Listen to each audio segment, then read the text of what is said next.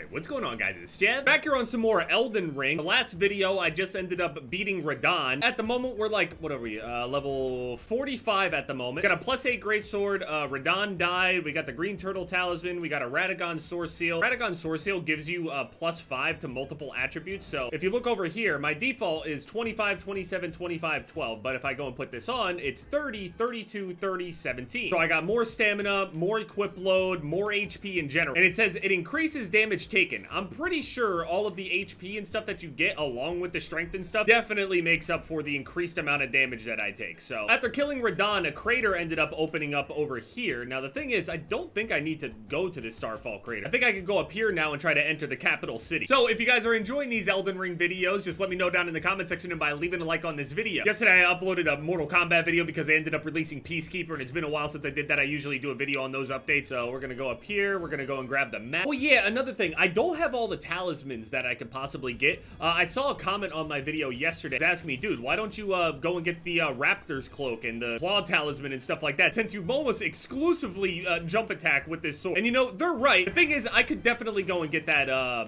Claw Talisman at the very least. I think the Claw Talisman gives like 15% more uh, damage to jump attack, and the armor, the Raptor Cloak, only gives you 10%. Now, 25% total sounds very nice, but to be honest with you, I'd rather take the cosmetic look here and just go with one of them. So I'm just going to go and pick the uh, Claw Talisman. It gives me more, doesn't change how I look cosmetically. I like how it looks right now. So, all right, so we grabbed the map. So we're actually to go back down to where the uh, Claw Talisman, which is usually over here at Stormveil Castle. So I'm just going to sprint through here, uh, make it to where I need to be. And uh, yeah, because I used the main gate, I never got that uh, other one. I just ran through there like a madman. I'm just going to have to run past everything in here. And if it's where I remember it. Also, another thing, I remember that my sword is just a regular great sword. So it's scaling with strength and dex. I don't want to build dex, So the plan here is to actually also grab the uh, iron whetstone or whetblade or whatever it's called, which will actually allow me to turn my sword into exclusively heavy, which will make it only scale with strength. That's the way to do it. Now, what happens after you kill the uh, one dude that's usually in the? I forgot about that. Usually he's supposed to lock you in that room over there to make you fight the one mob. What happens if he's already dead? It just doesn't lock you in there or what? Okay, yeah, it's just there. All right, Rusty Key is there. What else is in here? Curved Sword Talisman. What does that do again? Guard counters. Yeah, I'd never use that mechanic in this game. So the Rusty Key is just in there when you go in there. There's a pretty strong knight in here, unless I'm too strong for him. Oh, yeah. Too good damage. Ow. You really chased me all the way up here? You wanted to die that badly? Like, what is your problem? And we want to grab this Grace. Now, we'll go for the Claw Talisman first. I think here I can get the Claw Talisman and the uh, Whetblade. Okay, so you want to run across here, jump here, go around, drop down, hit the bird, so it doesn't follow us or knock us off of some shit. Yeah, I remember when I first found this shit, I was freaking the fuck out. I was like, there's no way they actually designed the map this way. Couldn't believe it. I thought I was just gonna end up dead. Yeah, if you don't kill all those guys before you go up this ladder, they just shoot the shit out of you with arrows, so. Otherwise, I would just avoid them entirely. The Claw Talisman should be up here with a bunch of birds. All the birds fly away, Claw Talisman. You can teleport, there it is, Rampart Tower. Now, we go the opposite direction. First, let's go and put this talisman on. Gonna make us considerably stronger. Wait, we got a heavy load now. Fuck! I can move it back to these gloves, it's fine. I must have been just barely able to wear all that. I remember this was one of my most hated spots when I initially started playing this shit. I mean, what is this shit? TNT throwing birds? I think it's down there somewhere. I remember there's an item down here as well, yeah. Isn't that something for like a little quest line or some shit though? This is like the uh, Mimic thing. Yeah, Mimic Veil. Remember I turned into a bush the first time I used that shit? I was beyond confused. All right, so there's this grafted Scion over here. I could just run past it, yes. I'm tired of being afraid of this mob. I don't know what that stance is. I'm out of here. You can't fit through the door though. Wait, I don't have any stone sword keys. Oh, what the fuck? What do I do now? Dude, come on, die already. Fuck out of my face. There's gotta be a stone sword key somewhere in this place. There's a chest up here. Oh, wait. I think that's a stone sword key right there. Usually they're purple. I really hope that's a stone sword key. I, I didn't even think about the fact I needed one. Drop down here.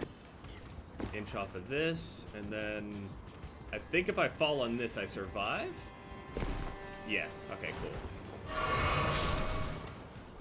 Oh, they didn't survive. See, I knew it. That was a lethal fall. And then there should be a ladder over here if I remember right. Yep. Perfect. There's no way you're actually following me that quickly. Climb up this ladder, I dare you. You are so fucking stupid.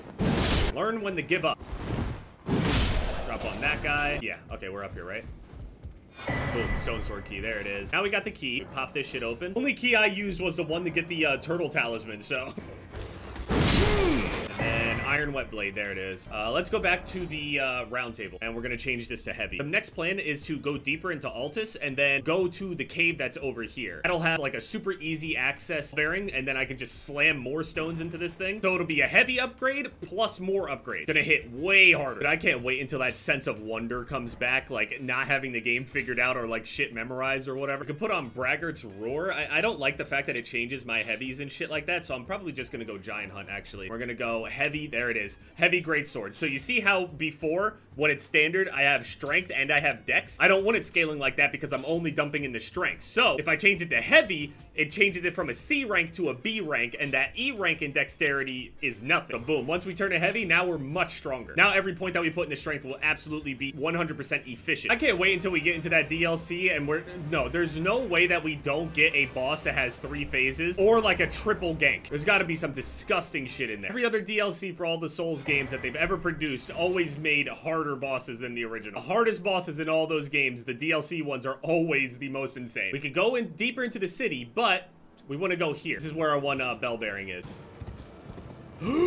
Fuck, holy shit, I thought there was like a smooth drop off over there, I forgot. I know some people wanted me to actually go and play uh, things like uh, the Convergence mod and like really unfair mods and shit like that. I mean, I definitely could. Now, disclaimer though, for the Convergence mod, which is, in my opinion, the coolest one. It's the most well-made one, in my opinion. Like, it's got new weapons, new bosses, new areas, new everything, really. Some things are reworked. I have played it through already, multiple times. All right, so we pop this open, right? And it's super simple, super easy. So we go over here, and it's immediately...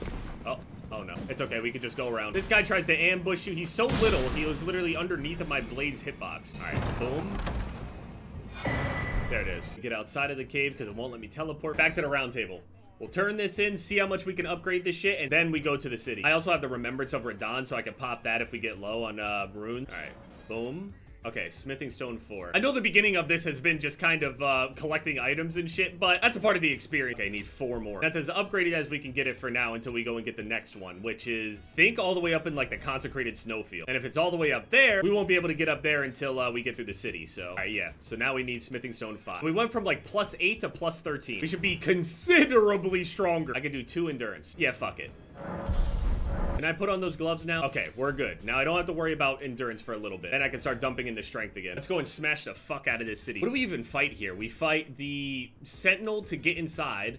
And then what else? The the Ghost of Godfrey, I think. Okay, yeah, we can fight like three bosses. I've been playing for a little while, just like collecting those items as the game does, but I also need to probably upgrade my flask eventually. So that's gonna be another thing where I have to just run around and just go from spot to spot. This Tree Sentinel is pretty strong as well, but again, the move set is honestly pretty easy to just watch. Nothing really surprises me. The only thing that's ever difficult about this Tree Sentinel in particular, the Draconic one, it goes into phase two with the lightning and shit. Sometimes the AoE just like one-shots you. I, I don't know. Sometimes it doesn't feel like you can avoid unless you perfectly dodge. And I'm pretty rusty, so we do have Giant Hunt, but I don't think I'm gonna use it that much. Unless it does an absurd amount of damage, but I don't have any, uh, let's try it. Hmm. Oh, fuck. Jump attack. Almost the same amount, actually. Oh my god. Okay, it hurts though.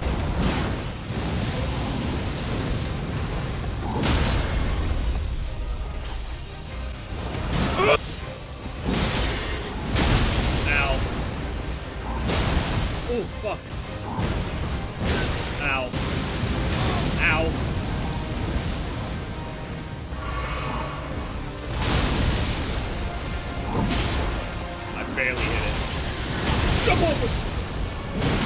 Gonna hurt. Ah! Die! That was actually a really cool giant hunt. I went right underneath of it and just... Oh, shit, that was actually cool as fuck. Dragon Great Claw and the shield. I never actually used a shield build on this game. I think. I've used like a buckler and like a parry kind of thing, but never like an actual shield, like defensive stone wall type of thing. Yeah, we're doing some good damage as well. Let's just dump the rest in the strength right here because we're lacking a little bit. I was not expecting to do that much damage. The thing is, I was getting hit very hard. If I got hit twice, I was dead. But I knew that going into it. I survived, so HP pool isn't that bad. I'll probably stop at like 40 Vig. There's been an uptick in people that have uh, been doing their first Elden Ring playthroughs, like random streamers and shit. I'm just watching random people with like 50 viewers and shit playing the game for the first time. Shit is so entertaining. Ah! I always hate this guy, because every time I try to run past him, he zaps me with lightning or some stupid shit. And then if I try to fight him, he just blocks everything. He ain't stopping that giant hunt, though. I'll be back for you, don't worry. Yeah, I'm definitely going back to kill him just for that. You know, people have been talking again about what is going on with all of these characters that have no left eye. Her, Ranni, Messmer, they all don't have a left eye. Is that like the mark of some kind of Empyrean thing or what? Pop this rune that we found. 5k, okay. I'm gonna get some HP. now, we should be going that way, but I want to kill this tree first. Also, I think this tree drops another rune on top of the runes that it already drops to begin with.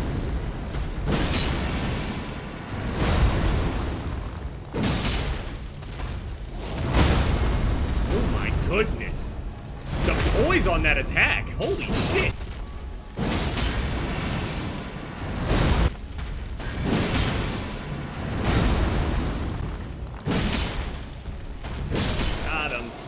Sure it drops like a Lord's Rune or something, right? Yeah, so it gave me 10k plus that Lord's Rune. How much does a Lord's Rune give?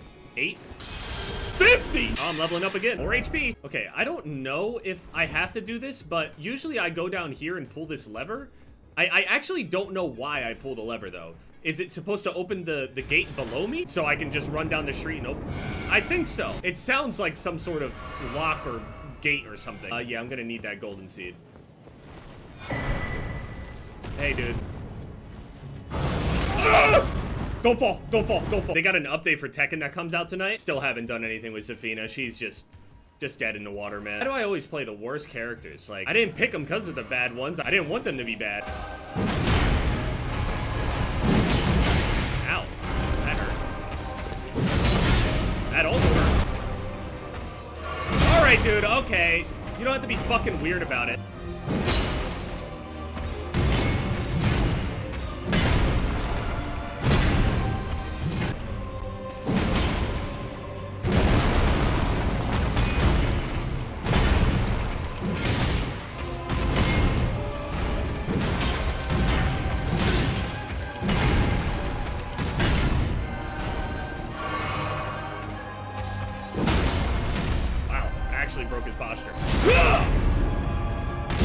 Giant's Hunt.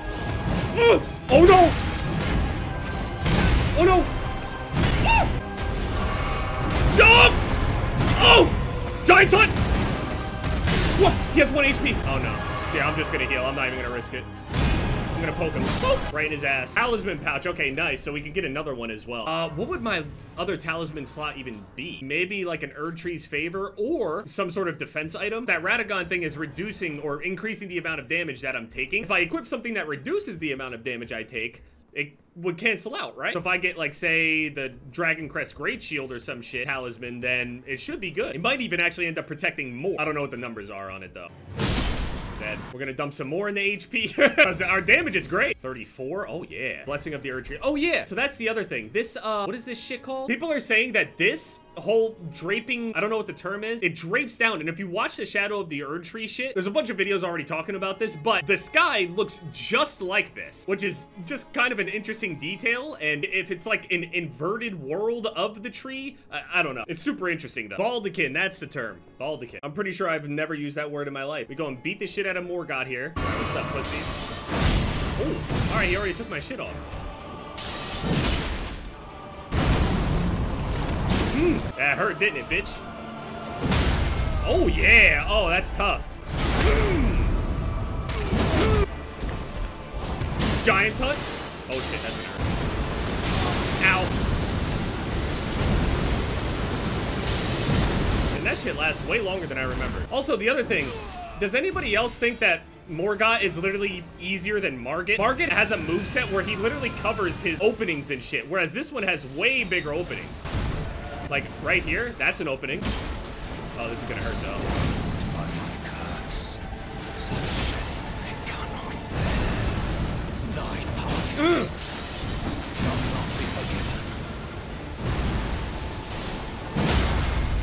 Broken posture again. Giants hunt. What the fuck? Giant Hunt for the kill. First try. I never struggled on this boss, though. Unironically, Margit is harder. He also says one of my favorite lines. We are. We are all forsaken. Really ominous now that we know a lot about the, uh, or at least a little bit of information about what's going on with the Shadow of the Erdtree. Did he know about all that shit? All right, well, there it is. Rold medallion, there it is. Now we get access to the consecrated snowfield, which means we can go and get the next bell bearing as well. I'm gonna even out my HP right here, and now I'm just gonna start dumping into strength. And then we also wanna use this, level up at least one or two more times. Strength, strength. Oh yeah. I can't wait to be doing this shit over on Shadow of the Erdtree too. Oh, I can't wait for this shit.